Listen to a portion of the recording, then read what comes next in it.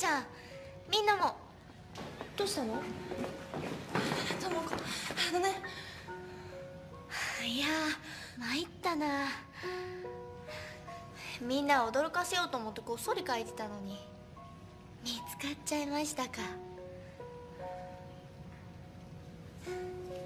まだ書きかけなんだけどできたらみんなにプレゼントするね。ともこあのね。子のことなんだけど。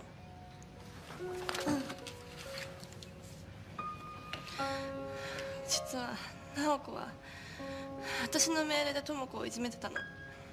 だから直子は智子を嫌ってたわけでも何でもないんだ。何言ってるのりおちゃん。ごめん。本当にごめん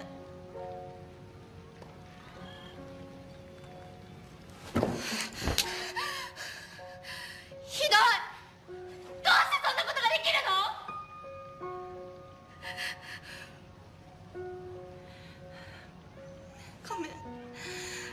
一生恨まれてもしょうがないと思ってる。